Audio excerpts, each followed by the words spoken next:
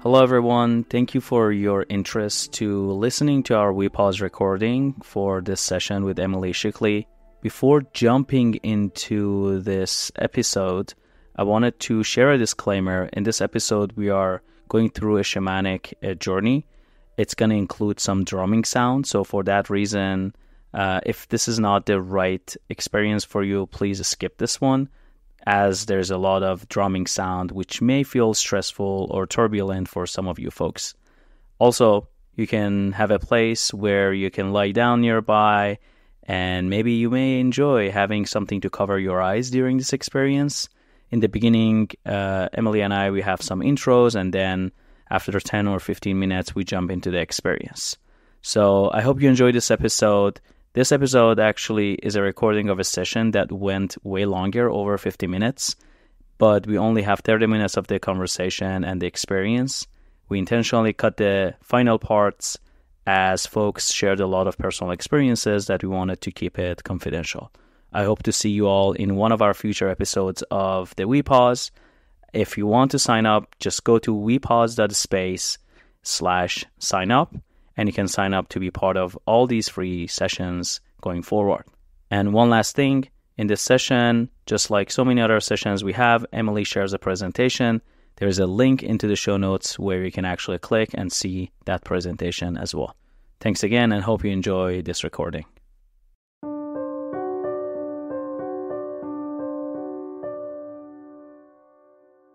We have a few housekeeping items. I want to start with that and then uh, introduce our uh, very dear friend Emily, uh, who's going to lead a session today. So, welcome to our WePause session. Uh, I'm excited for this one because it's going to be different compared to other sessions we had.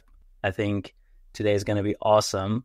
Uh, but with before that, again, housekeeping items. Don't worry to invite your friends just send them uh, send me their email and I will add them to the list. And for my Persian community uh, friends, we have a, a, wellness challenge starting tomorrow. Uh, it's called 8, 9, 10, where we are doing three things at the same time uh, for 10 days. It's eight glasses of water, uh, putting away our phones after 9 p.m. at night, and uh, also 10 minute meditation per day. If you are part of our Persian community, or want to be part of it and want to improve your Farsi if you're not Farsi speaker, just uh, send me a message. I will send you uh, our Telegram channel. That's where you can actually join these wellness challenges we have, which is very uh, fun to be part of. Um, and now I would love to switch gears and introduce our great friend Emily. Uh, some of you know Emily because I see faces on the call. Some of you know her as our former coworker at Course Hero. Uh, she was our lead marketing uh, person on the team, and we had great time working together. But I know Emily more not because of the work we did together, although we did something awesome, of course. Uh, but I know her more because of her a very interesting approach to yoga and spirituality. We always talked uh, a lot about these topics, um, and I had her also like joining us uh, as in one of the The Ally Show episode. Definitely tune in. Uh, it's one of the favorite episodes for a lot of you folk I know. Uh, so please tune into that. So I'm not gonna go more for the introduction because she always has the best intros. Without further ado, I'll pass it to Emily, and I hope you enjoy this session. Oh, thank you so much, Ali. So great to be in this community. So great to see some familiar faces. so excited to be here. So it's funny when Ali was asking if I would lead a WePause, I was like, yes. And how do you feel about me just like saying we're going to do something completely different and not try and couch it in the normal kind of corporate speak that I do when I uh, hold space for for folks who maybe are less used to engaging with spiritual practices in this way. And I thought, you know what? All these communities ready for it. So let's do it. so I hope you enjoy today. I do have some pre frames. So if you find that you are newer to approaching spiritual practices in this way, if you don't know what shamanism is, if you don't know what your higher self is, it's all good. We're going to talk a little bit about that before we actually go into the experience so that we can feel oriented, comfy, cozy, and our nervous systems are nice and regulated. So I know that this is an audio recording predominantly. I do have some visual slides just to show for the folks who are here live, and I will do my best to communicate as much audibly as possible. But since we do have some live folks attending, I think it's nice to just show a couple of visuals. So I have here a slideshow. it's like three slides. Um, quick little introduction to uh, who I am, what I do, how I'm teaching this. I have a bunch of different certifications, including as a shamanic healer in the earth based shamanic tradition, which is predominantly following an indigenous tradition, as well as Celtic shamanism, shamanism, which is more in line with my personal lineage. Um, I also am a certified life coach, a yoga and meditation teacher in the Hatha tradition, a Reiki master teacher, and for those of you who maybe have heard of NLP, that's neuro linguistic programming. So essentially using the unconscious mind, the language of the unconscious mind, to release beliefs that no longer serve us. Hypnosis and emotional freedom technique, also sometimes called tapping, time techniques, which is a really fun and playful technique in the body of NLP where you kind of play on your own personal timeline to release emotion and a lot more. Those are really the highlights that I wanted to share. I do have a master's uh, from the University of Chicago, so I have that academic background as well. And then for folks who like personality quizzes, I think I've taken almost all of them. I like to share that in the Myers Briggs, I'm an INFJ, in the Enneagram, I'm a nine or a peacemaker. For those of you who know about human design, this is not in the corporate space type of design that's human based, right? This is more of an astrological system. But in human design, I'm a three, five manifesting generator. And in astrology, I'm a Taurus sun, a Scorpio rising, and an Aquarius moon. So if you know what any of those things mean, maybe you now know everything about me, or maybe you don't, but I like to share those fun little facts. Okay, so thanks for the hearts. I appreciate it. so let's just talk a little bit about how we absorb information. So let me back up for a second. When we think about connecting with our higher self, right? So, what really is our higher self. And maybe we can even have some participation here too. And if you're listening to the recording, maybe take a moment for yourself, but just kind of think about like, what is your higher self? What is a higher self? What's a true self? What's an authentic self? What might that be? oftentimes it can be a little bit of a trendy term right? Higher self as a as if we're implying that our human self is somehow less than or not as all knowing right?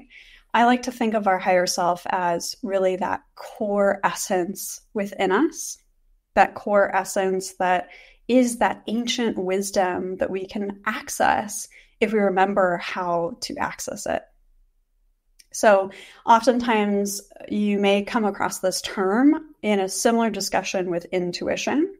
So, I like to think of your higher self as something that's within you. It's your intuition, it's not something that's external from you. So, when we think about, well, how does this actually relate to living in a modern life? Like, why should I even be listening to the rest of this half hour, right? We oftentimes are so pulled in many different directions that we are so externally focused, right? And so when we're in a stress response, we are externally focused because that's a survival mechanism. We are trying to focus on how to escape or how to fight or how to survive that particular situation using one of our four stress responses that we mm-hmm. miss out on internal signals. And those internal signals are actually our inner compass that can help us direct and make decisions in our life that feel more aligned, that actually are going to be from our quote unquote higher self, right? That are actually going to be in the best service to who we really want to be in all areas of our life, how we want to show up as humans. So I really like to weave in this concept of higher self with stress relief, with intuition to really paint this larger picture of how it all folds together. And one of the ways, just one of the ways that you can connect more deeply to your higher self is through what's called a journey.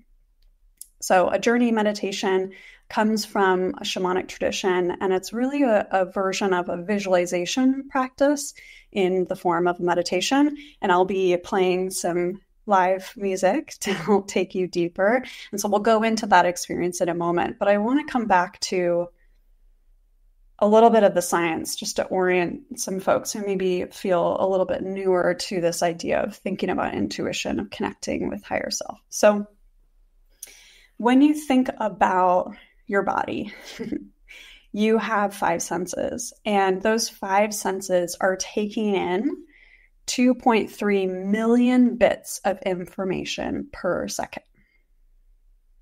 So we're taking in 2.3 million bits of information per second, as in the sound of my voice, the quality of my breath, whether I've digested lunch, how my feet are feeling, what the temperature of the room is, what the emotions of the person who's in the next room are. And so we're unconsciously taking in all of this information. But as you probably already feel, it's impossible for a conscious mind to grasp all of that. And so we delete, distort, and generalize all of that information down based on different parameters in our unconscious mind to 126 bits per second. So we go from 2, 2.3 million bits to 126 bits. And that 126 bits is what we're consciously aware of that informs our state. So, how we feel emotionally, how we navigate the stress in our lives, which informs our actions and then impacts our results or, or what we actually experience on a day to day basis. So, that's all to say that if we actually give ourselves permission to tune inwards, to connect with potentially a higher self, then we can open ourselves up to greater understanding, to a different way of maybe perceiving our current reality.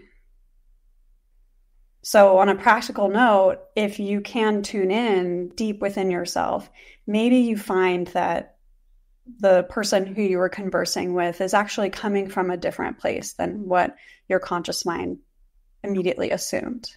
And that can then foster a deeper heart connection.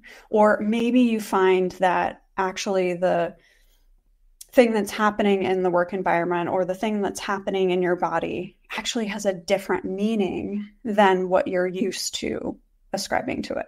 And so this is all to say that that when we think about all the possibilities of the information that we can take in, when we connect to our higher self, that helps us really find the intuition uh, that we need to make more aligned decisions in life.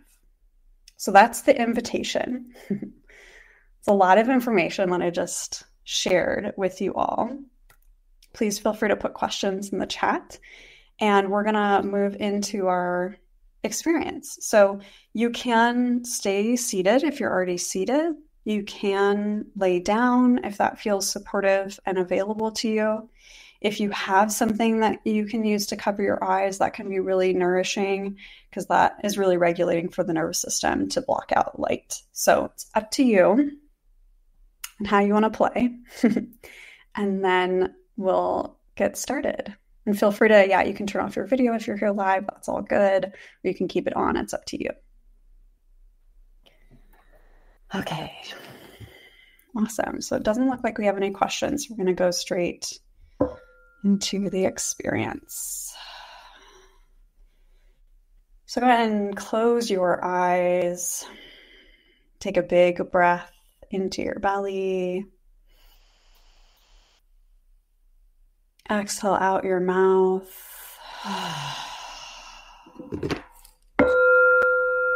Take another big breath into your belly. Exhale out your mouth.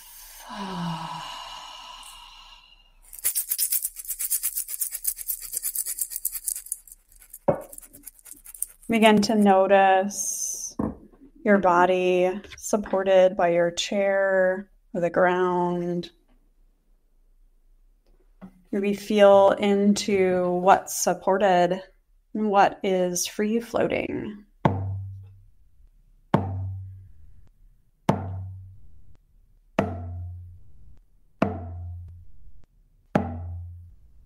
Begin to bring your awareness down from your head space to your heart space.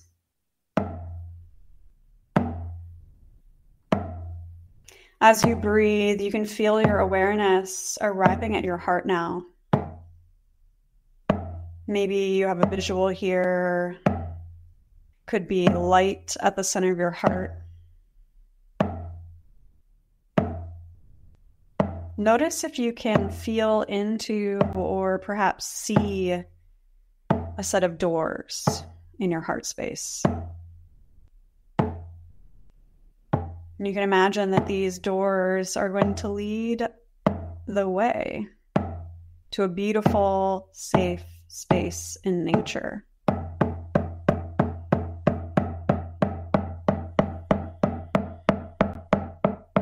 Imagine what texture these doors are. Maybe they have a color.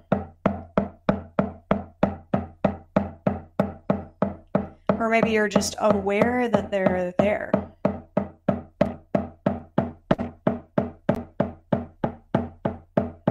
Begin to deepen your breath.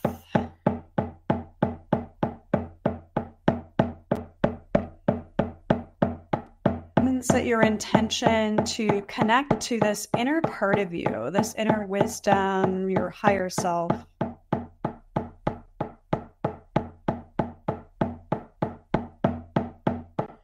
When you're ready, allow yourself to open these doors and travel down a path.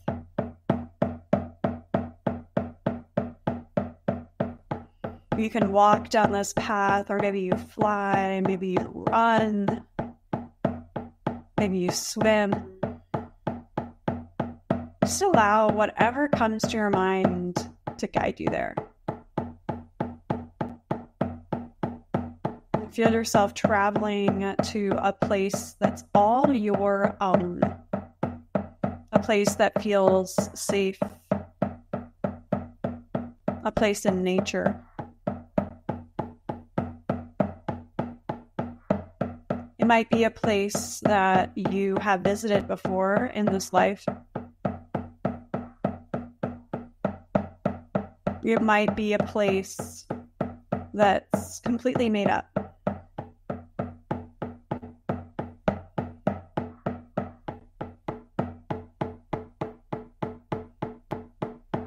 See if you can get curious and trust whatever comes up for you.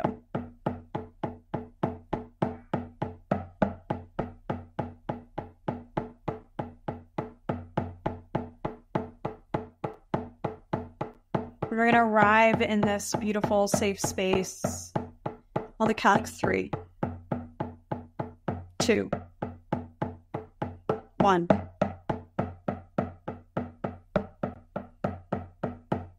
Give yourself permission to arrive in a place that's all your own. Notice if you can pick up any smells or hear any sounds around you.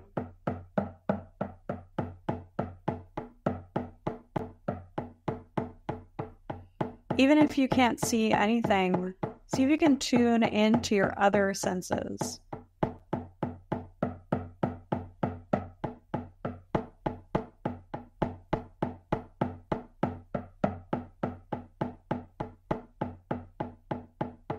Maybe notice the type of earth that you're standing on. Notice how being in a safe space that's all your own makes you feel emotionally.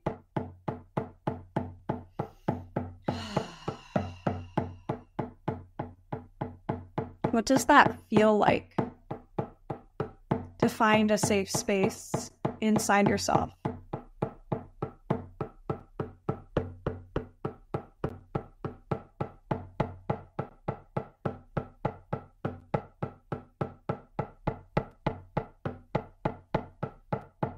Begin to explore this space.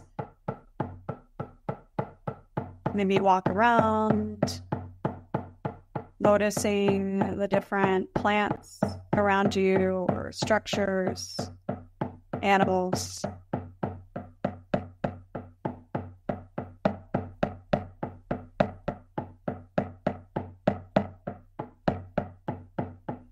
And then look ahead in the distance.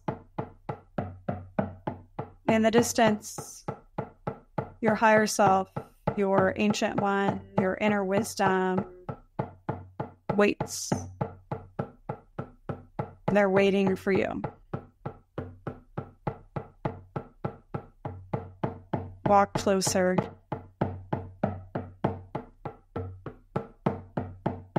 And as you get closer, you can feel their presence the presence of yourself. You know, that part of you that already knows what you need to do. The part of you that's more regulated, grounded, expanded, abundant whatever it is for you.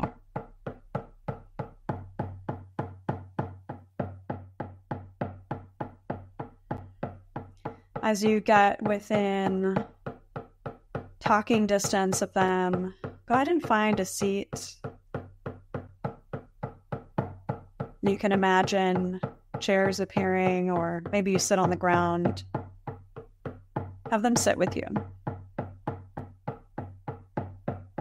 You may not be able to see their features. You may simply feel or see a silhouette, and that's okay. Whatever you see is perfect. Whatever you feel is perfect.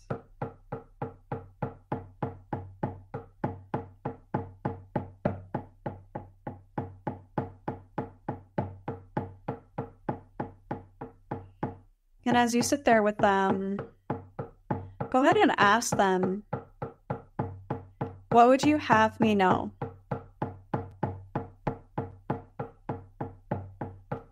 You can even say this out loud. Sometimes that can get a clearer response. What would you have me know?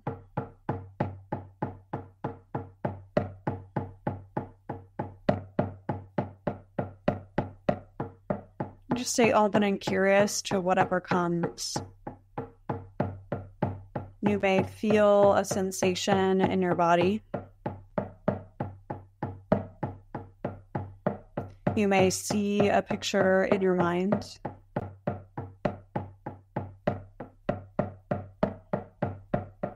You may hear a voice in your head.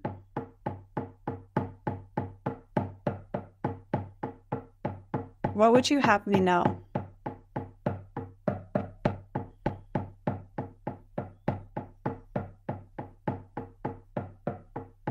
And if you receive anything, when you receive anything, go ahead and confirm it. You can say, I see it or I hear it. Thank you. It might seem completely random or bizarre,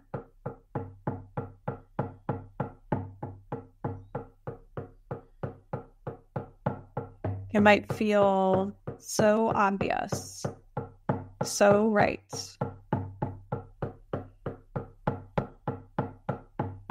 See if you can get curious.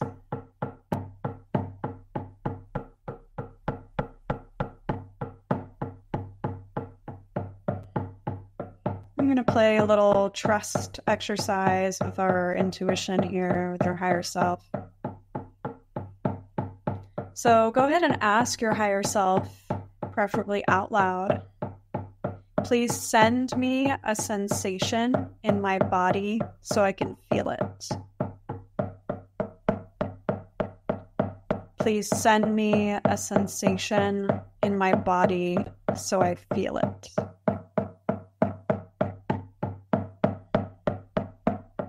And then stay open.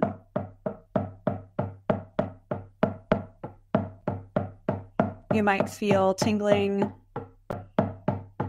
swooshing, a temperature change.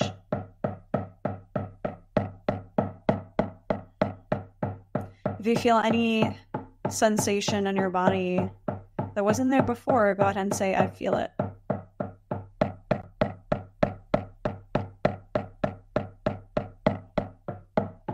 And if you didn't feel anything, repeat it. Please send me a sensation in my body so I feel it.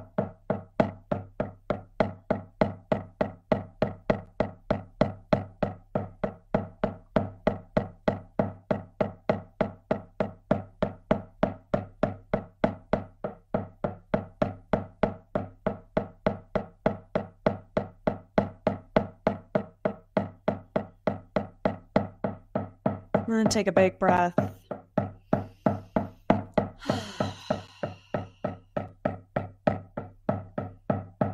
Even if you feel like you haven't received anything, you're feeling blocked, you can clap or snap around your head or just kind of shake it off. Sometimes we block ourselves from receiving our intuition, which is okay. You could come back to the recording when you're ready to try again.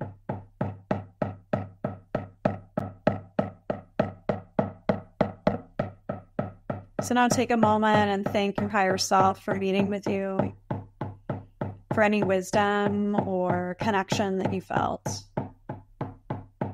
We're going to journey back.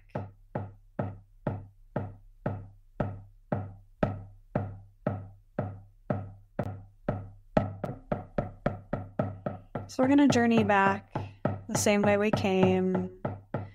So you can walk back to the path. Just noticing your safe space and knowing that you can come back here at any time, even without me, on your own.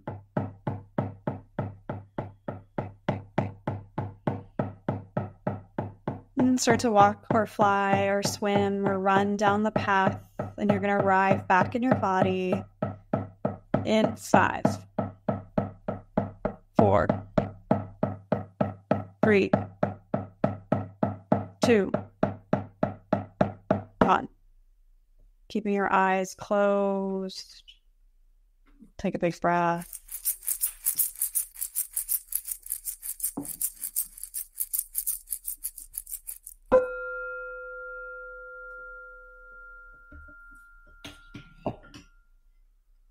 Take a big breath and maybe stretch.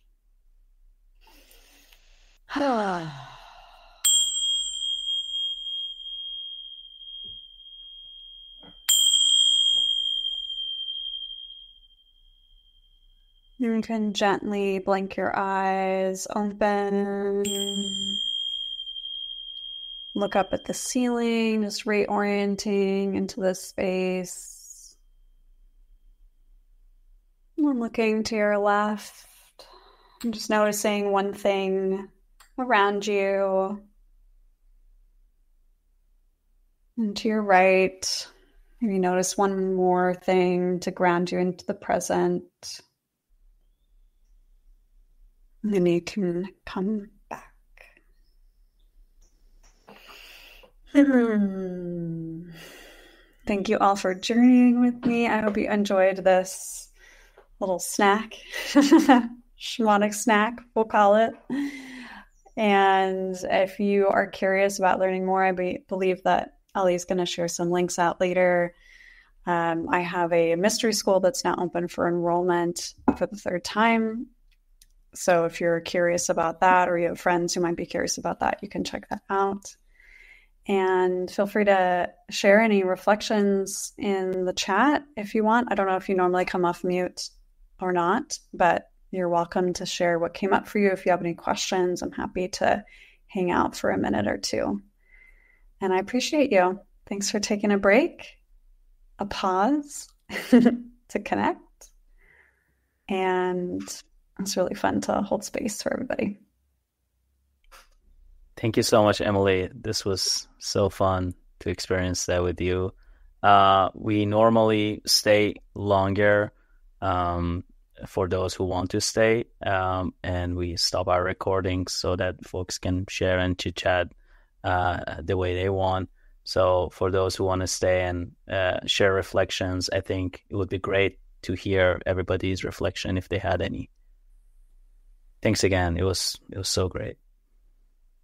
Yeah, my pleasure. Yeah, if anyone wants to share maybe what they received, uh, if they had any challenges, especially if you're new to this type of experience, it can be uh, sometimes frustrating for folks to see, right? We're so, we put so much emphasis on being able to see the thing, but we have four other senses that are just as powerful. So even if you didn't have like this dream-like immersive visual come to mind that doesn't mean you're doing anything wrong you're just using different intuitive styles and the more that you practice and cultivate a relationship with that type of experience then the other senses tend to to open up for you